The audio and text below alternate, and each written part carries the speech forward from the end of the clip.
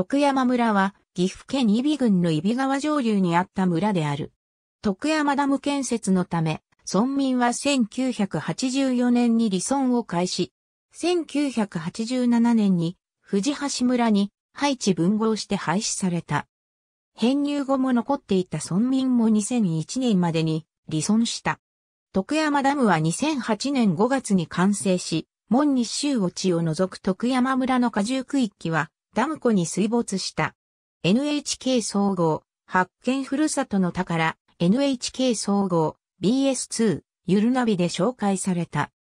ダム建設中の徳山村を舞台に映画、ふるさとも制作された。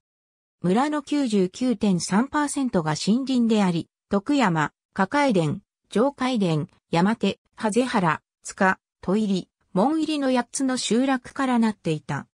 揖斐川本流沿いの集落のうち、山手、ハゼ原、塚の3集落を、東谷部落、支流沿いの2集落を、西谷部落と称した。また、門入り上流の入谷に、入谷村と呼ばれる村が存在した。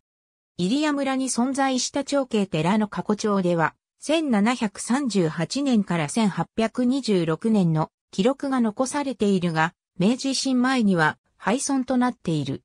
このほか、揖斐川支流、大木谷上流の京小屋、作六津市に出作り小屋が建てられていた。徳山ダム竣工後、各集落付近の高台に、望郷広場が設けられ、集落の略史や家な水を記した巨大な石碑や、徳山神社に合祀された神社跡石踏みが設置されている。1960年の2294人をピークに減少に転じた。廃村直前の1986年10月1日時点では153人まで減少している。徳山村では、徳山ダム建設に伴う水没地域の埋蔵文化財発掘調査が行われ、山手地区に存在した寺屋敷遺跡から旧石器時代の石器が発見されている。このほか、縄文時代の塚奥山遺跡をはじめとする38カ所の遺跡11月現在が見つかっており、縄文人、弥生人が古くからこの地で生活していたことが判明している。ダムに水没する、かやぶき屋根の民家を後世に残すため、いくつかの民家は岐阜県内の施設に移設復元された。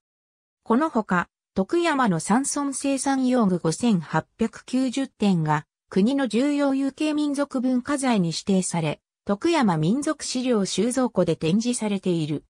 故郷私の徳山村写真日記、増山田塚じゃ込めて出版定価2500円。イス分4から88043から500から 7C0039。ありがとうございます。